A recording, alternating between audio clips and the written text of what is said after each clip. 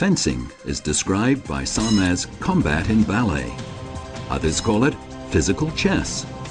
Sword in hand and clad in white, two combatants face each other and fight at close quarters. Fencing is a combination of motion and stillness, firmness and tenderness, wit and bravery. The light foil, the fierce épée, the saber combining slash and thrust. These are the three forms of Olympic fencing.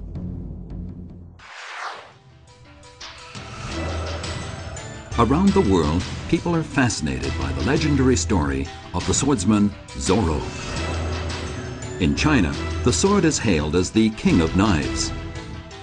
In history, Xiang Zhuang and Lady Gongsun were both masters of the sword.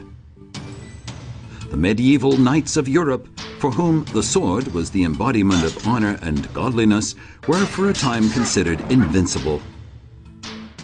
The first book on swordsmanship was published in Spain, The Cradle of Fencing.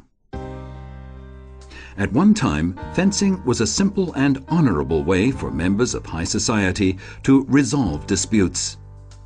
In their vanity, aristocrats would fight each other with swords, often over some trifling matter. During the 20 years from 1588 to 1608, it's recorded that 8,000 nobles were killed in duels in Paris alone. Subsequently, laws were introduced across Europe aimed at preventing such a waste of life. Eventually, fencing became a sport. The creator of the modern Olympic Games, Pierre de Coubertin, was himself a fine fencer. The foil and saber were included as formal events in the first modern Olympics in 1896.